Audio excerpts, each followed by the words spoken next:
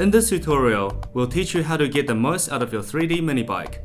If you haven't done so already, download a free copy from www.tools4work.co.nz. The PDF file is around 15 megabytes. Next, open the PDF and you'll be greeted with a cover page. This PDF has 4 pages in total, which talks about apprenticeships, a quick guide, and some frequently asked questions. If you want to get straight into the action, left click on the cover page. A yellow warning stripe might appear as you attempt to activate the 3D functionality for the first time. Simply click on Options and choose Trust this document always. The 3D mini bike should appear now when you click on the cover page. The overlay taskbar provides all the functionalities. The default action should be Rotate. To use the rotating function, simply hold down the left click on any part of the bike and move your mouse around like this. The next action is spin, which spins the bike around 3 axes. The pan action allows you to drag the bike around without rotating it, ideal for adjusting the mini bike when you zoom in or out. The default view action returns the bike to its fully assembled view when you first open the PDF.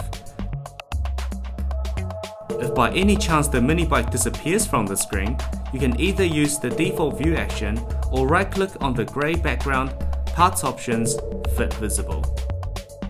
Under the Views drop-down menu, you can select from a range of predetermined views which are components in respect to the main frame.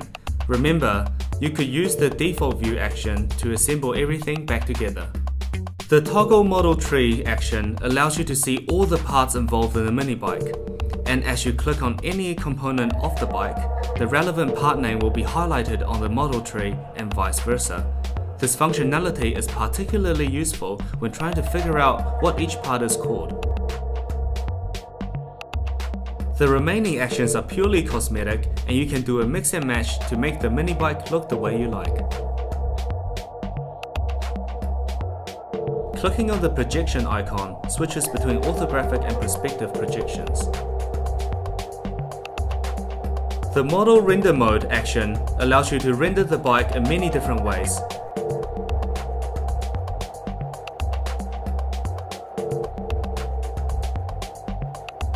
You can render each part individually by selecting the part, right click, part options, part render mode and select the way you want to render that part. The lighting drop-down menu allows you to choose what kind of lighting the mini bike is exposed to.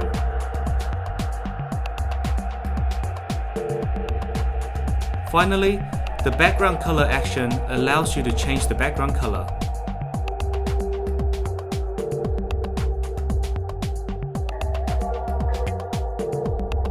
I hope you've enjoyed this tutorial and have fun playing with the 3D mini bike.